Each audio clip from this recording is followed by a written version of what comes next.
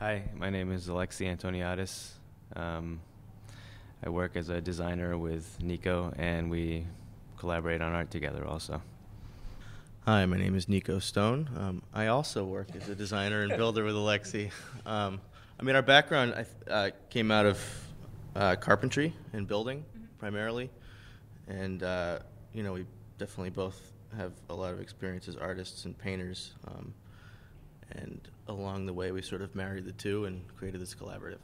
So, you know, as of now, we've developed a pretty a pretty tight vision, I think, and we know when something works and when it doesn't work. Yeah. So. I mean, I would liken it to like sort of a band, you know what I mean, that's played together enough, you know, so that we're comfortable and like what comes out is has got a certain flavor at this point. No, I think a lot of this stuff is based on our relationship. Yeah, Absolutely, yeah. I think what we connect with on a lot of this stuff is our own, you know, individual and then combined relationships to these things.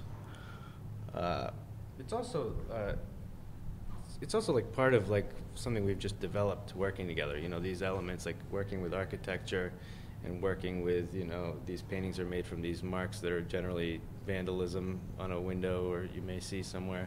I mean, we sort of like this has become our menu because we sort of we also go back historically together. Like we've known each other since we were young, and have sort of identified with things along the way and, Sure. and collected those. That's just and now it's our it is our language. everything's made is the, Yes, is the one unifying thing in our work. You know, it's not, you know, it can appear like an assemblage or something, but everything's made. Yeah, nothing here is found. Nothing. Everything is cast or made or built out of wood. You know, and like nothing that sort of, there's a lot of illusion and craft in a lot of the stuff that we do. It takes on a new life when you make it, you know, and it guides our process. I think a lot of it is, is rooted in in process and in one decision informing the next decision. And you know, you may have an idea of what something is, but until you physically make it and watch it exist for a while, you know, you have no you- real sense of. Yeah, and you have full control over it versus finding a big cement block outside in the world and bringing it in and riffing off of that. It's a whole different. And it has a different, you know, it has a completely different history. I feel like Yeah. something that's made asks something completely different from the viewer than something that's found and Yeah. placed.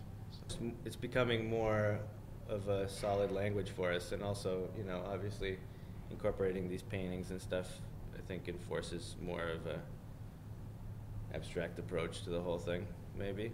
Than I think we're sort of pushing the envelope of, of, of these relationships and trying to expand our language a little further with these paintings and some of this, you know, the black abstractions and stuff. And I think that was the challenge for this show. yeah, that was the challenge for the Yeah. show. Like these are like sort of more meditative objects that you're sort of that you don't necessarily, you know, it's a little more ambiguous, and like I think incorporating that, like expanding our vision, basically, it, Yeah. filling out basically where we're coming from a little more. You know, I think this show does that a little more.